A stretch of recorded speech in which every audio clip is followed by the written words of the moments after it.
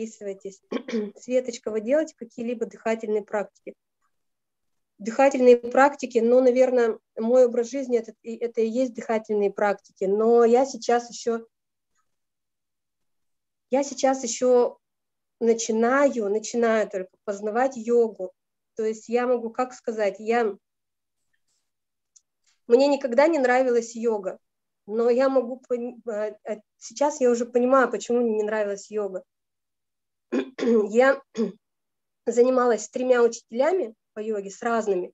Это были и групповые занятия, и индивидуальные. И все время йога, а, она заключалась в асанах, позах, да, в каких-то, и в технике дыхания.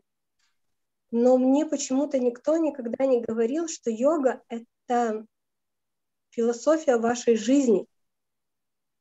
И когда вы с этой позиции начинаете рассматривать эту йогу как эту философию продолжения вашего тела, когда вы начинаете познавать каждый кусочек вашего физического тела на основании а, одухотворенности, которая есть в вас, эти асаны уже не кажутся вам такими, такими нудными, такими безликими. И вы начинаете по-другому это все видеть и чувствовать.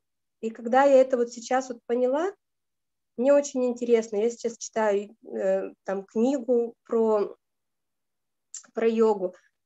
И мне это действительно нравится, нравится вот с этой позиции. Но я не могу найти такого учителя, который бы мне рассказывал с этих позиций, что такое йога. Поэтому, видимо, придется как-то осваивать это самостоятельно. Вот. И, наверное, это и есть вот это будет моя практика. То есть моя практика была на велосипеде, когда там дыхание иное.